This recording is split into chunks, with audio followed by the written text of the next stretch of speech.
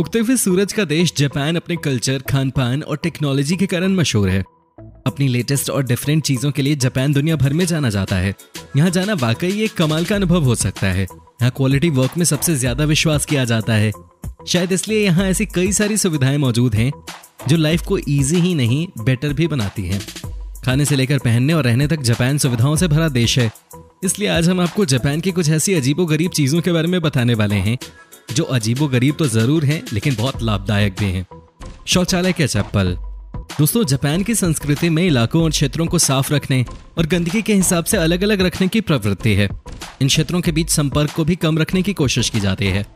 उदाहरण के तौर पर, घर के भीतर एक आदर्श स्वच्छ क्षेत्र माना जाता है, जबकि घर के बाहर का क्षेत्र अशुद्ध माना जाता है।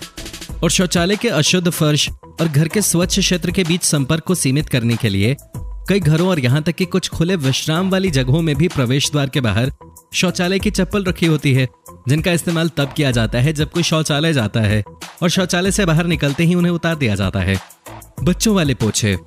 दोस्तों, इसे केवल 40 डॉलर में अपने बच्चे को एक पोछे में बदल सकते हैं, जो आपको बहुत ही कम मेहनत के साथ फर्श को साफ़ भी कर सकता है। हालाँकि ये पोछा फर्श को कीटाणु रहित नहीं कर सकता, लेकिन ये निश्चित रूप से चमका ज़रूर सकता है। जापान का अजीब रेस्टोरेंट।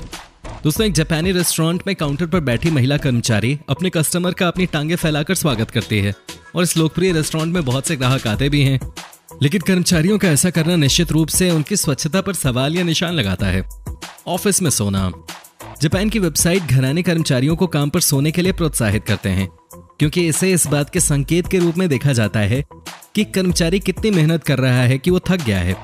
और पश्चिमी सभ्यता में काम पर सोना आमतौर पर बिल्कुल इसके उलट समझा जाता है। और कर्मचारियों को इस तरह की हरकतों के लिए काम से निकाल भी दिया जाता है। और जापानी कंपनियाँ ये मानती हैं कि नौकरी पर सोने से काम और भी ज़्यादा अच्छा होता है।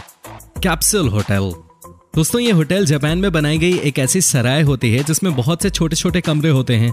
और यहाँ पर उन लोगों के लिए सबसे सस्ती रात बिताने की जगह प्रदान की जाती है, जिन्हें पारंपरिक ठहरने की जगह और अन्य औपचारिकताओं और सेवाओं की ज़रूरत नहीं होती।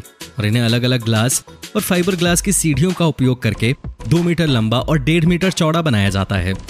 तो दोस्तों, आपको जापान की इन बातों में से कौन सी बात सबसे ज़्यादा अच्छी लगी, हमें कमेंट सेक्शन में कमेंट करके ज़रूर बताएँ। और दोस्तों, अगर वीडियो अच्छी लगी तो इसे लाइक करें और दोस्तों के साथ शेयर करें। और हमारे चैनल को सब्सक्राइब ज़रूर कर लें ताकि आने वाली वीडियो की नोटिफिकेशंस आपको मिले सबसे पहले। धन्यवाद।